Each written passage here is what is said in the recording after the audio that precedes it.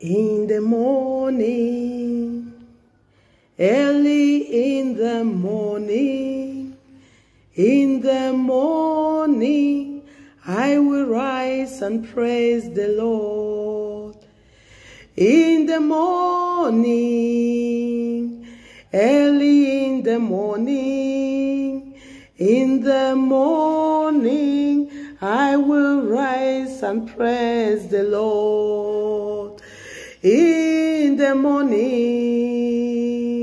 early in the morning, in the morning, I will rise and praise the Lord. Good morning, Jesus. Good morning, Lord. I know you come from heaven above. The Spirit is on the throne. Good morning, Jesus. Good morning, Lord. Good morning, Jesus. Good morning, Lord. I know you come from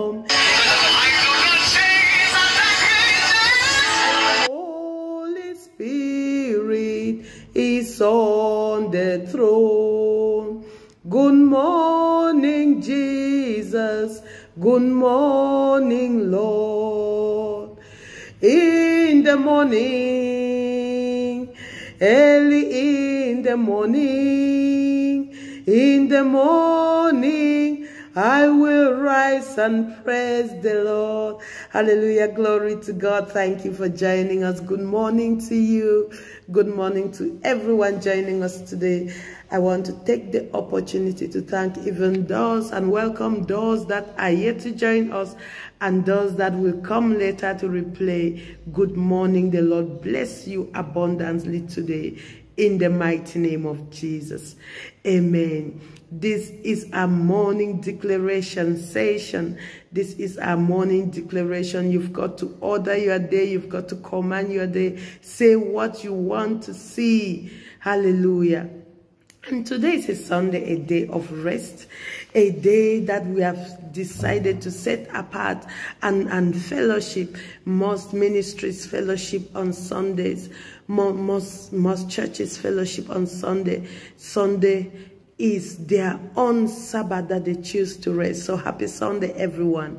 Happy Sunday to each and everyone. And for those who are preparing to go to church, that is the right thing to do.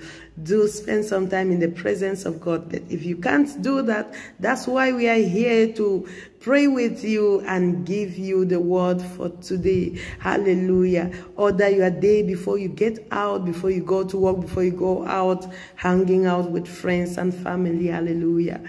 Hallelujah. Thank you, Jesus. Thank you, Jesus.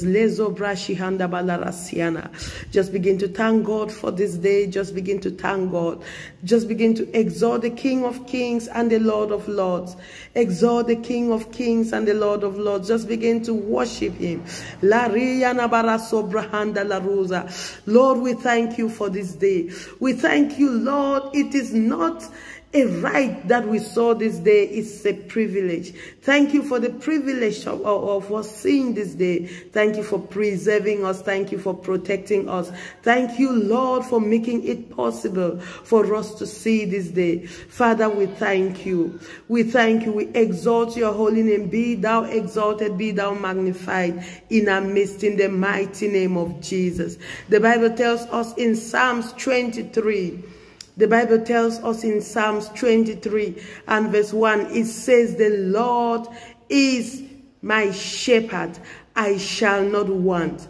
The Lord is your shepherd.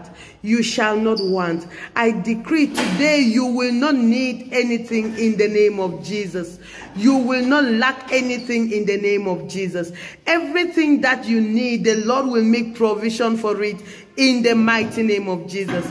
Everything that you need, the Lord will make provision for it in the mighty name of Jesus. I decree today the heavens are open to meet your need in the mighty name of Jesus. The heavens are open today to make your needs in the mighty name of Jesus. You are not going to be in lack. He says, the Lord is my shepherd.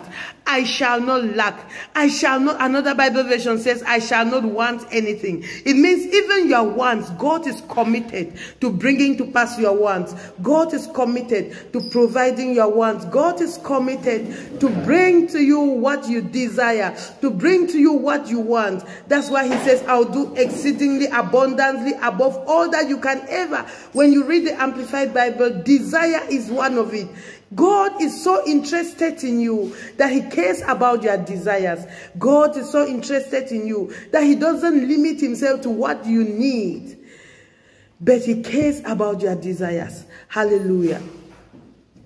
And someone today, God says, I should tell you, he will supply your needs, all of them, according to his riches in glory. Not according to your needs, but according to his riches in glory. He will supply all your needs, not some of them, but all according to his riches in glory. My father once explained this scripture to us. He says, for instance, let's take for instance, you need $10,000. So God doesn't give you according to your need. So he goes to where he has $10,000 in different bulbs and he supplies to you based on how much he has, not based on how much you need. So someone you are about to have an overflow of supplies today in the mighty name of Jesus. Because God doesn't just want to give you, God wants to make you a blessing. God is making someone a blessing for someone else today in the name of Jesus. The very thing that you need, you will bless some other person with it today in the mighty name of Jesus. That same thing that you need, you will bless some other person with it today in the mighty name of Jesus. The rich treasuries of heaven are opening over you. God is ensuring there is a provision for you.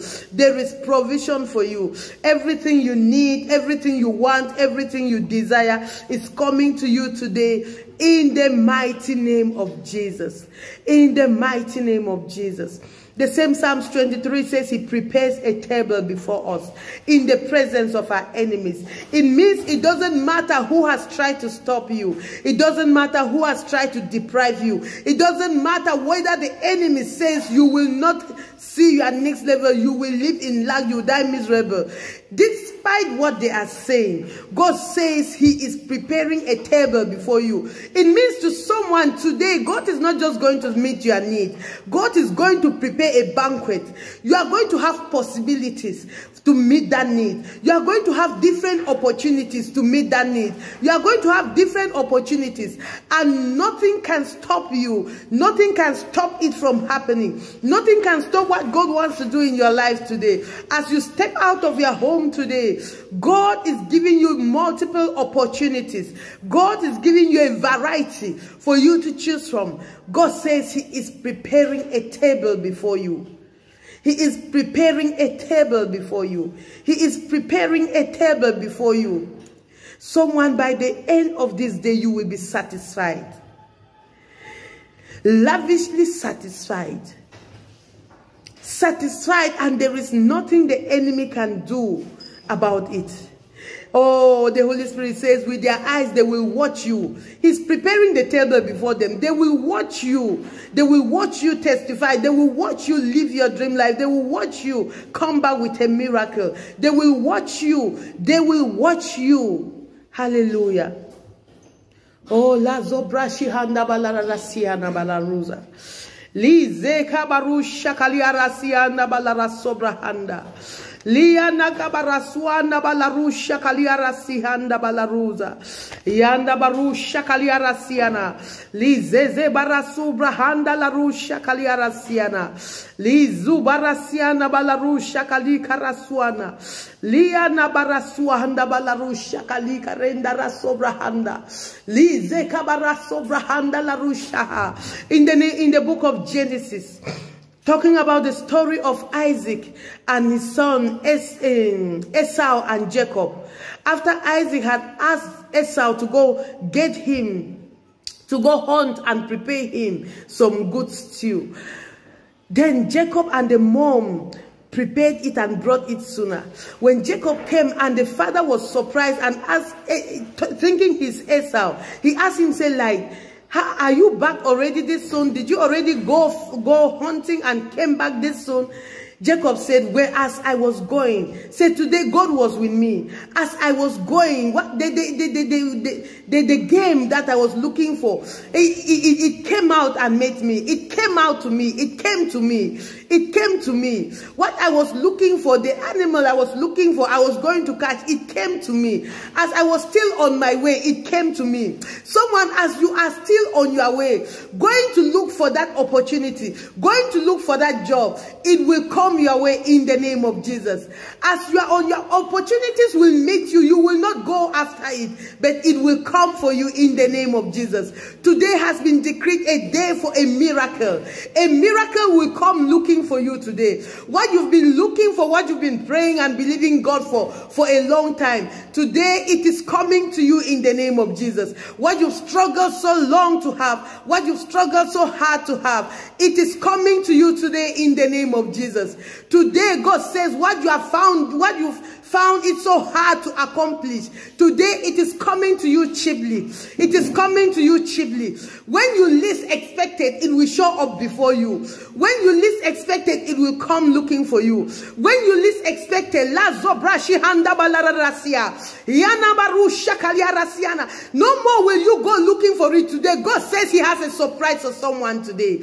God has a surprise for someone today. It is coming sooner and faster than you thought. It is coming easier than you thought. It is coming without you even expecting it. Oh, the Bible says the expectations of the righteous shall not be cut off. But I came to realize sometimes the expectations of the righteous are limiting them to their ability, to, the, to, to, to their mindset, to, to, to what they think is possible or, or to the level of their faith. And I realized that sometimes God has his own expectations for us. Today, it is not just your expectations that will not be cut off, but God's expectations for you will not be cut off. God's expectations so you will not be cut off. God's expectations so you today will not be cut off. An example of God's expectations for you is like the story we see in Acts chapter 3. We see the story of a man, the Bible says he was born crippled and his friends would carry him and bring him to the beautiful gate every morning. Let's not talk about the gate and his life before then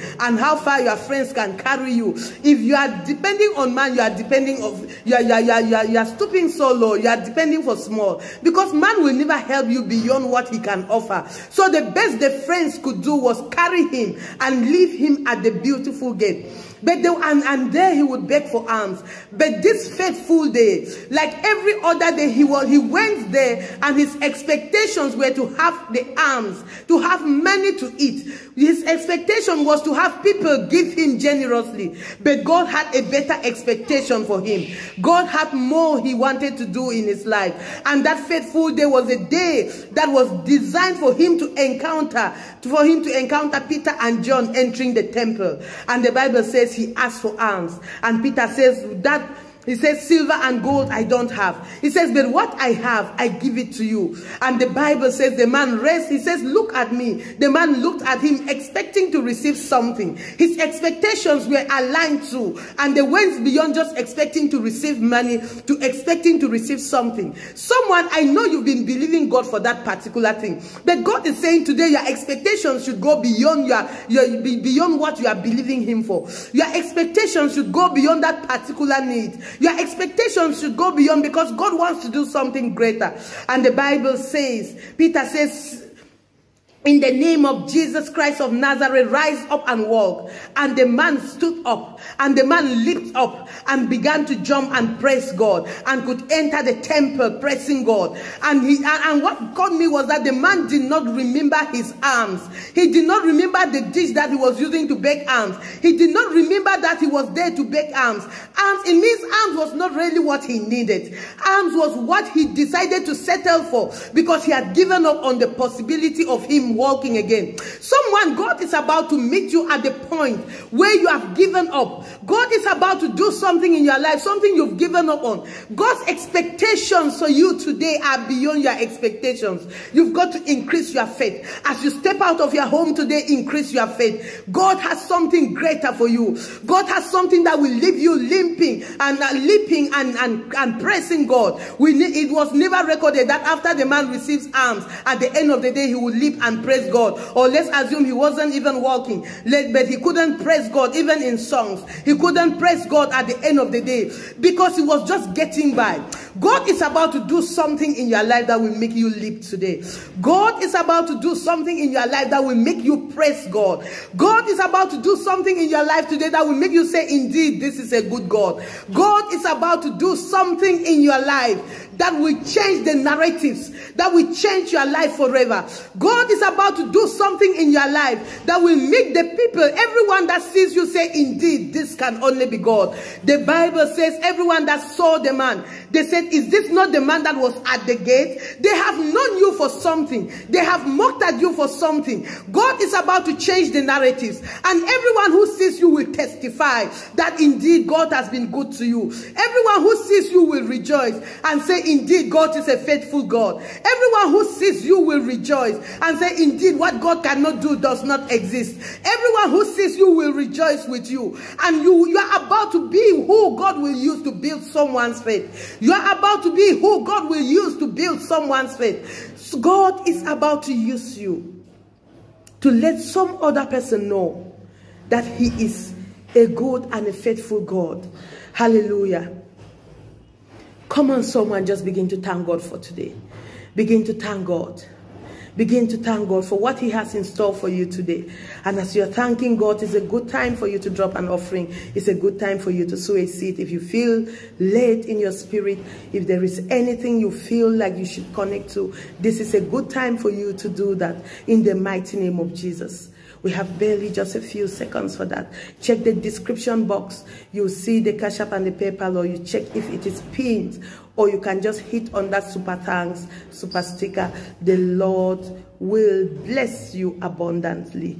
Hallelujah. Happy Sunday, everyone. Have a lovely, lovely, lovely Sunday in the mighty name of Jesus. Amen. God bless you all. See you in our next session. Shalom.